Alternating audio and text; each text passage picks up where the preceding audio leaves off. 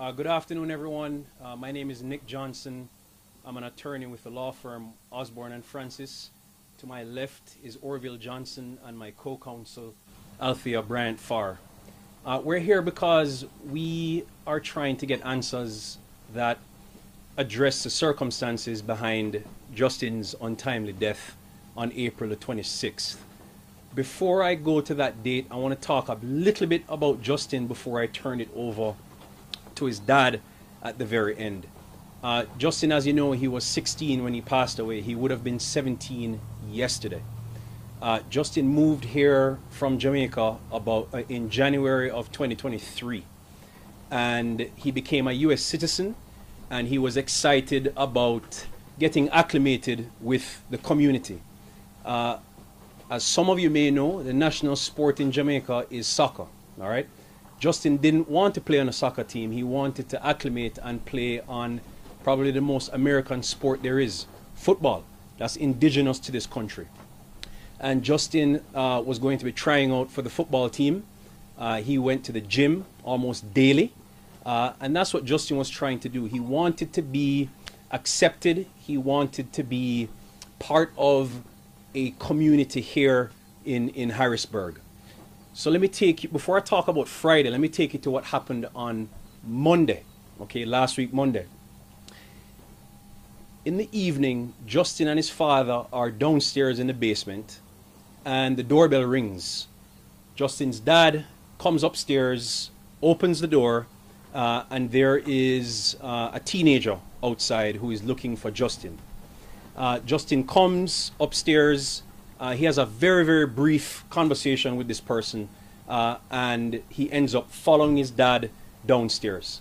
His dad was asking, you know, what was that about? And Justin said, yeah, you know, I don't really want to, to hang out with him, and he declined and ended up spending the evening with his dad. On Friday, uh, the night of the subject incident, uh, there were repeated times when uh, individuals came to the front door and they parked their vehicles right in front of where we are now behind you on the opposite side of the road. There are about three vehicles there. And you could see on one of these videos that one of these individuals had, we're not sure what it is, uh, but it's a white, looks like a gun. It could be a pellet gun, could be a taser, could be something more innocent like a water gun. We're really not sure what that is. But you see them coming here multiple times. And through the app, that uh, Justin's dad had installed here, the security footage, Justin could communicate with them from anywhere. And he happened to be home, but he told them, I'm not home. Uh, and you can hear them say on the video, We can see you through the window, come outside, come outside. And they're trying to get Justin to come outside for whatever reason. Justin doesn't go. Uh, finally, after multiple attempts to get Justin to come outside, Justin gives in uh, and he comes outside.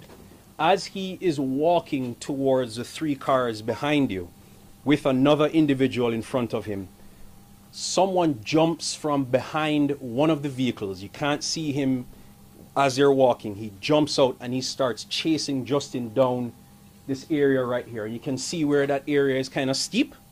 Two of them are chasing Justin down this area. And you hear one person say uh, something to the effect of, get him, get this on video, and then Justin finally makes it down to an area where they stopped going. And one of them says, Well, where the F did he run to? And one person says, He ran to effing Africa. Uh, Justin remains down here until we believe when he thought the coast was clear. He walks all the way down to that first home on the right comes all the way up the road and back down again before he comes back inside. He doesn't want to engage with these individuals anymore.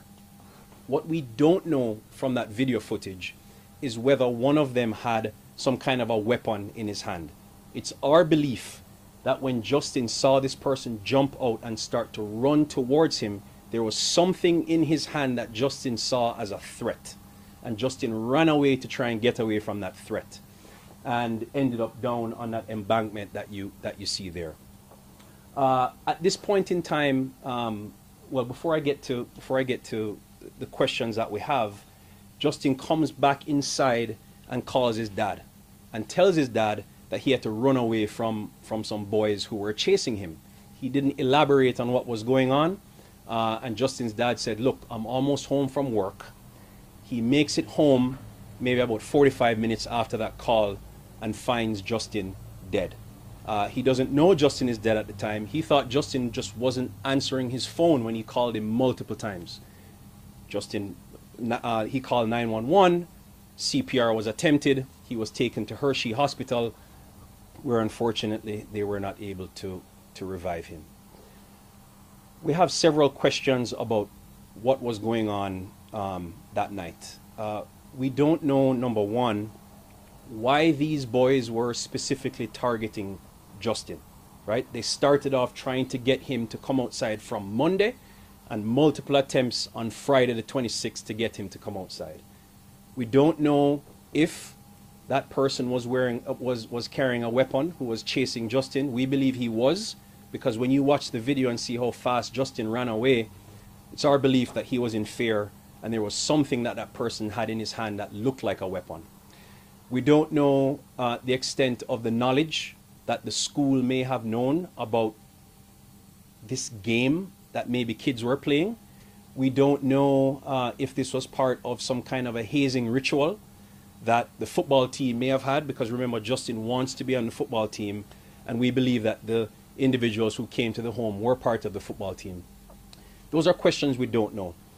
The other thing that we started talking about recently is we also don't know if this had anything to do with this new craze apparently on TikTok called Senior Assassin. Uh, it's uh, supposed to be a game uh, that involves uh, individuals trying to tag other individuals with water guns or pellet guns or paintball guns. This incident or this game became such an issue uh, that there were multiple news articles that were published going back to last year, May. I believe the York Daily News, um, if I have the, the, the media name correct, published something saying that, listen, this is a very, very dangerous game. Police officers started warning the public about this, this senior assassin game because if you're playing this game, what was happening was people were calling 911 thinking that there was a crime occurring because they see people dressed in hoodies, they see people carrying weapons that they think are real guns, and we believe that's something that Justin saw when that person jumped out from that vehicle and ran towards him. So we don't know exactly what happened, but these are the questions that we have, and we're hoping that we can get some answers during the investigation. Our goal here is to be completely transparent with local law enforcement. I've already spoken with one of the, one of the detectives. We're planning to meet that detective after uh, today's press conference before Miss um, Miss Bryant Farr and I fly back to Florida. Uh, but we want to be completely transparent. We've turned over the video footage um, of what I just described to the police officers. Uh, we're going to be speaking with them, and our hope is that this is not an open and shut case. There are too many questions out there that need to be answered, uh, not just for Mr. Johnson and his family, but for the community on a whole. Because if there's a dangerous game going out there that are putting the threat, put, putting kids' lives uh, in danger, I think it's something the community should know. I want to speak specifically about, we don't have the autopsy report yet, but I want to talk about the findings that were communicated to Mr. Johnson by the coroner's office. One of the findings in the 16 year old boy is that he had cardiomyopathy. All right. And we've been doing some research. Credit to Miss Bryant Farr. She is not only an attorney, but she's also a trained ICU nurse. And we've been looking into this condition. Uh, it's called broken heart syndrome. And it's a condition where if you have sudden fear or sudden fright, it can cause your muscles in the heart to weaken, and that can compromise your breathing system or, or your respiratory system. That's exactly what may have happened here. Justin was so frightened when that person jumped out of the vehicle and may have perceived what he thought to be a weapon that in no short in no time when he gets back home and he finishes speaking with his father he's probably dead because he's not getting enough oxygen uh, to perfuse his blood and he ends up passing away That's one of the theories that we have. We're going to look into it. Uh, as I mentioned before, we want to know if the school board knew about what happened, because I want to touch on what other communities have done to educate their members about this supposed game, right? The Virginia school board sent out notification to parents about this game to say you need to talk to your parents about how dangerous this is. And if you'll allow me, I want to read specifically what they said in that notification to those parents. They said in stressful or high pressure situations, it can be very difficult to quickly differentiate a toy gun from a real firearm. This confusion can lead to misidentification and potentially tragic consequences. And we may have had, we may have experienced here in Harrisburg one of those tragic consequences as a result of, of this, of this so-called, so-called game. We have turned over Justin's cell phone to the police department. Uh, they will be getting consent from us to go through his phone because, again, we're trying to get answers. Um, and we believe that his death warrants a full investigation, again, not just to provide answers to the Johnson family, but to educate the Harrisburg community and the communities beyond so we can keep our children safe. With that being said, I want to turn it over to Orville Johnson to talk about who Justin was and what we would like to remember Justin as he was living the brief 16, almost 17 years of his life. Mr. Johnson? Um, my name is Orville Johnson, and I'm gutted at this point because I lose the most important person in my life at this point. And I would really like for the community and surrounding to know that it's not all the kids they see walking around looking normal is normal. They might be going through stuff that is not readily identified. So just asking please to protect our kids. And I know what I'm saying won't bring Justin back, but all I can imagine is Justin. That's all I have to say. Thank you. Uh, any, any questions? Rick, how do you end up holding people accountable? Do you think this needs to be a criminally prosecuted case, and if that doesn't end up going that way, do you intend to hold people accountable through civil ways? So, uh, as, as I explained to, or as we explained to Mr. Johnson earlier on today, we're differentiating for him the, the, the criminal um, context and the civil context. As far as the criminal context is concerned, that's between law enforcement and uh, the district attorney's office here. Okay, we're hoping that the thorough investigation that they are going to engage in is going to provide some evidence where they can look at it carefully and decide whether that's the appropriate road to go down. Uh, it's not something that we have any control over, other than being transparent with with um, with law enforcement.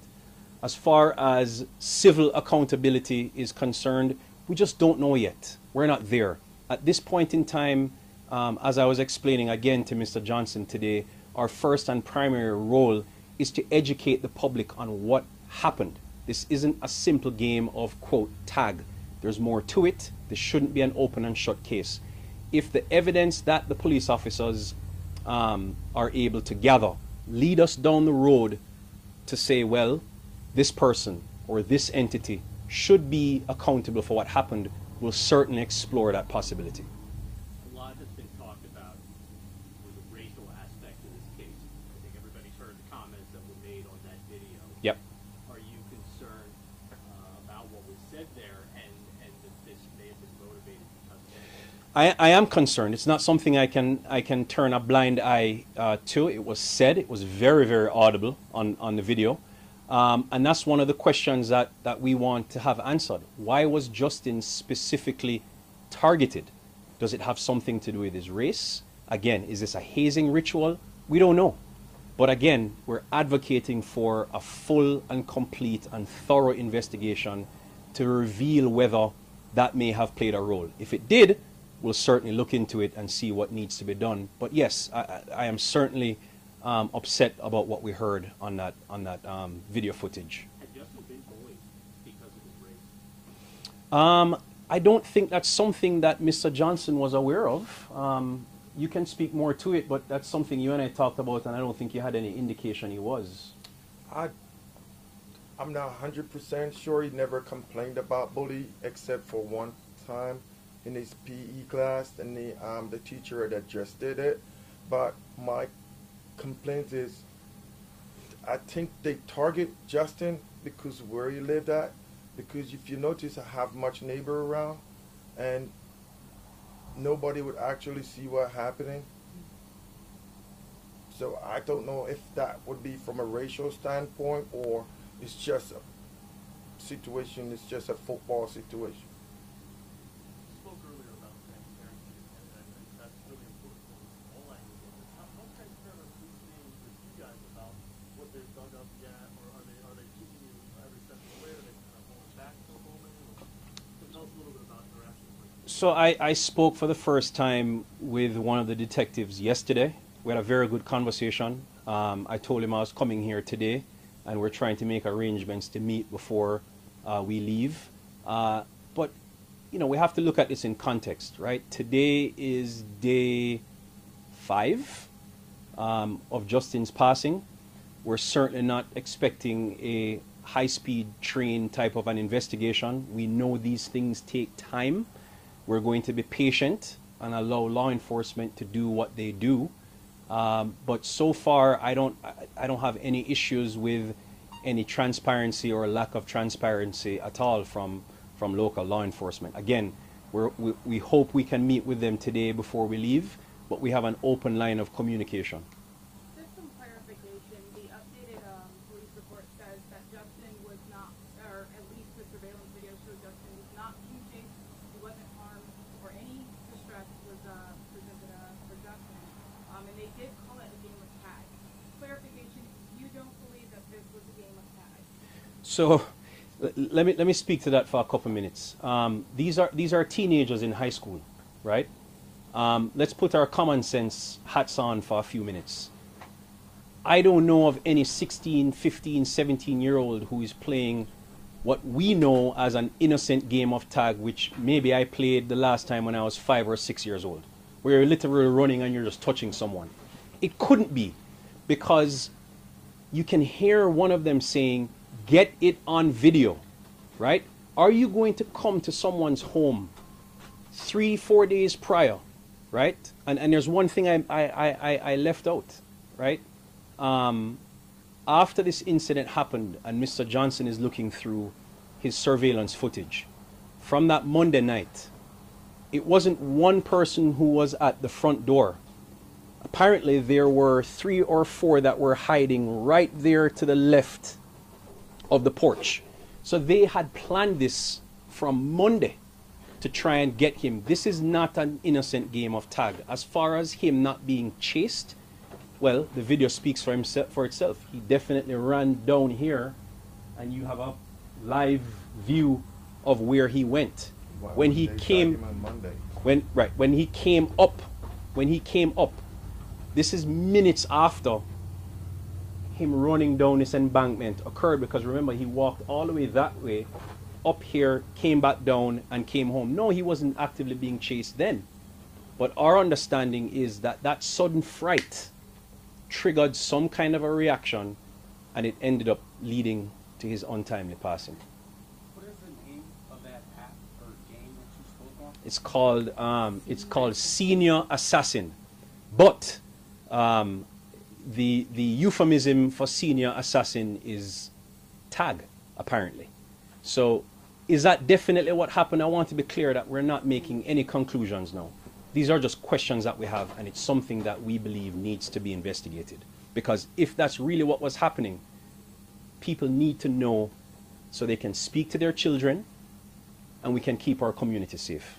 I know you said you had questions for Central Dauphin School District about whether or not this event is hazing, but have you received any other communications from them? We heard the automated message go out about hate speech not being a part of their vision or their, their um, atmosphere, but anything else after that to uh, the Johnson family? Uh, no, nothing since. And and look They- to the. principal has stopped by. I'm sorry. The principal Oh, has stopped. apparently the principal has stopped by. Yeah, him and- and, his guidance counselor, they came to visit. Principal and the guidance counselor came by to visit, but nothing specific, right? No, they didn't Just- anything on the case. They just came to support. Support. Pay their respects.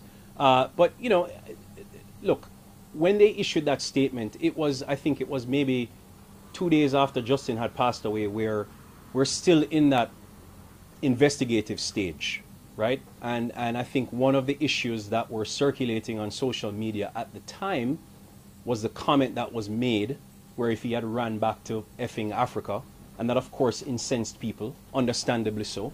Uh, and so I, I believe that they, you know, issued that statement to try to quell things. But I think as more facts are developed, we're going to hear more and more about this silent assassin, or I'm sorry, senior assassin game that apparently is being circulated on TikTok. And I believe, I strongly believe, that's the reason why they wanted to get this footage on video so they could post it. Why they were specifically targeting Justin, we're not sure. And speaking of the DA, they say they might have enough information to wrap up this investigation by even the end of this week. Have you been in talks with the DA at all and, and hopes as to when this investigation will wrap up? Uh, no communication with the DA so far, um, and I'm hoping that through this press conference, and I actually sent an I sent an article about senior assassin to one of the detectives today. I'm hoping that this new development will maybe pump the brakes on closing this investigation and have them realize that there's more to it, uh, particularly again from a community safety standpoint. And you had mentioned that you had traveled here to pick up this case. How did you learn about this case and why pick up an out-of-state case as well? So uh, my firm handles cases all over the all over the country, uh, not just in this arena, but medical malpractice, products liability. But it's funny how um, you know a close community can lead you to distant areas. I've known Miss Bryant Farr for a number of years. Uh, she's a practicing attorney in Florida, uh, and it just so happens that she is Orville Johnson's cousin. And so when this event happened, she reached out to me because she knew that my firm did this kind of work, and that's how we ended up here. Did the teenagers who showed up here on Friday know that Orville was not home? Yes. And what do you think that says about the fact that they were willing to wait days just for this opportunity? Exactly, that's a great point. Uh, when they came on Monday, right? So, so Mr. Johnson is a small business owner, okay, and he had his work truck here on Monday when they came the first time, and he answered the door on Monday. When they came back on Friday, his work truck was not parked outside, uh, and so that's why I believe they kept coming back to the door, ringing the doorbell, and saying, "Justin, we see you. Come outside." Continually try, continuously trying to lure him outside.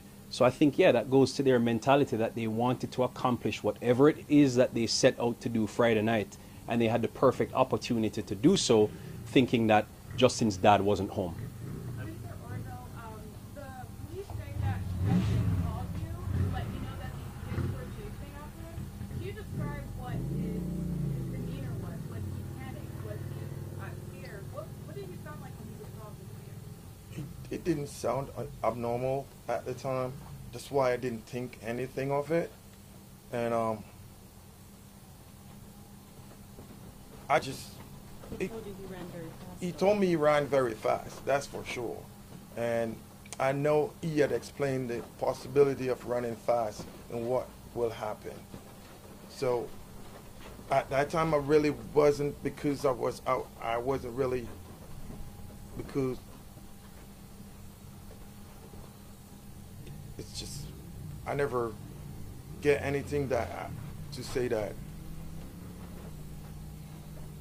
But just just remember that by the time Justin calls his dad, right, when he comes back inside and he describes being chased by these individuals, there's enough time that goes by in between him running away from them in that state of fear and that state of panic to where he ends up walking back home quite a distance. And he's able to then calm down at that point in time in order to make that call. That call didn't take place right after he ran down this embankment. Because they left his phone Some here. time. That's right. That's right. One of them left his phone because he dropped his phone when he was running down the embankment. So when he realized that the coast was clear and there was no longer a threat and the vehicles had driven away, that's when he came inside and made that phone call. Have you heard from the families of the boys involved in this? Nope. Is there any indication from law enforcement that they've been identified and that they're being cooperative? No, no indication yet, but, but that's one of the things that we're hoping that um, law enforcement will, will do, which is let's, let's interview these teenagers who were here on Monday and Friday. Let's interview the school officials to see what the extent of their knowledge is of, of whether this is a hazing ritual or whether this is this senior assassin game. Let's get to the bottom of it. Don't just close the book. There's more to it than someone supposedly playing a game of tag and ends up passing away that evening. There's more to the story, and we'd like to get to the bottom of it. Do you have any idea how many, how many of these individuals came here Monday and Friday? Like, In total, how many people are talking about here? Four. Uh, yeah, I think it, so. So when so on Monday when one person was at the front door, I think there were three who were hiding here. So that's four. We know that it's three cars each time that are parked right there parallel to the home. Um, you could clearly see two running, uh, chasing Justin, um, and maybe the other individual stayed in the car. But we know there were at least four on Monday, probably the same group again on on Friday. One person was a knocker. One, one, one was a designated person to knock on the door, right? Three vehicles between Monday, the same three vehicles? Yes. I think there were. Yeah, they looked to be the same ones. Yeah, yeah, Or was it the same person knocking at the door each time? Yes. yes. Have you identified that person yet? Have you identified the teenagers involved? I think I think the names have been circulating on social media. Yeah, the name Yeah. of the first one, like, I don't know if that's the same person, but I heard somebody say hi them. I don't know. That's one of the on the video say hi them, get him, Adam. Yeah. What, what is your hope is going to come from this investigation?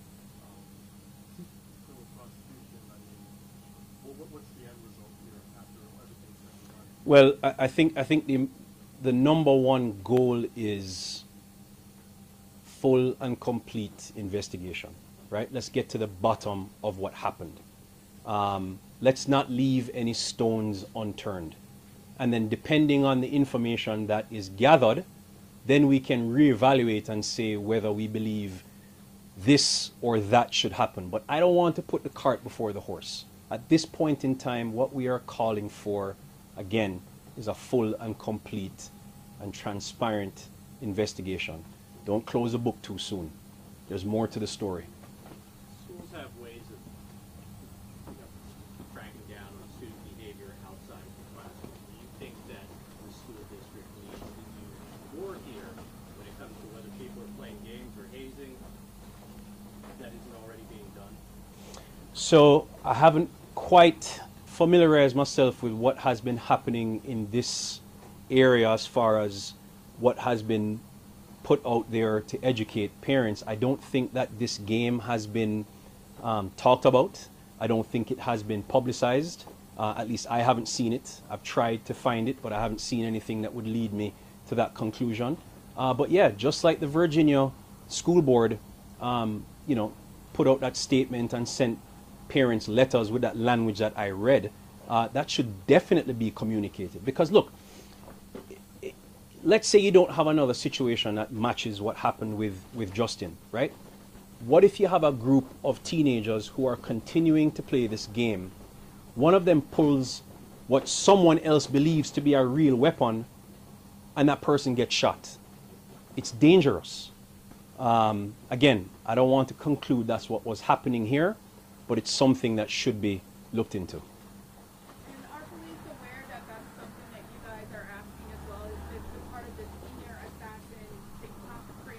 As of as of this morning, yes, because I, I sent I sent an article that um, national Fox News had published about this game, and about how in different jurisdictions, different police departments have been warning kids, teenagers, people to not play this game because of the obvious dangers. So it's out there. Um, it hasn't been publicized as much as we would like it to be, but we're certainly hoping that after today, everybody across America will know about this and they'll talk to their kids about it, and schools will talk to their students about it.